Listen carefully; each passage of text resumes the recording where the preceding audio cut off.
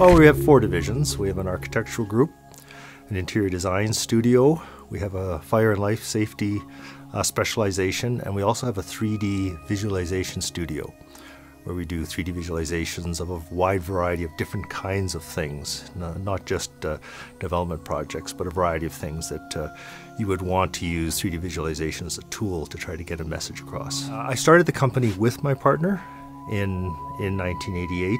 Uh, I had met my partner uh, while I was involved with another organization. And he had come looking for business at that time, and we established a friendship and decided that uh, perhaps we'd get in business together and start an architectural and engineering firm.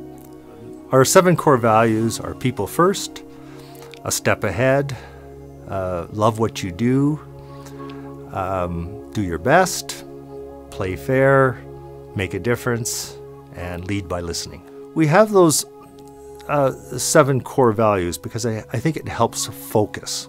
Um, focus our, our efforts. And, and, what it does is it helps bring our organization together. It creates that culture. It, it, it creates that synergy. Um, you know, there, there's a, there's a real integration in, in all the different kinds of services that we provide and the and the people that are within the organization. And I think to have those kind of seven core values is kind of something to focus on. It, it kind of gives us a sense of, of, of, of, of where we're going and, and who we are as an organization.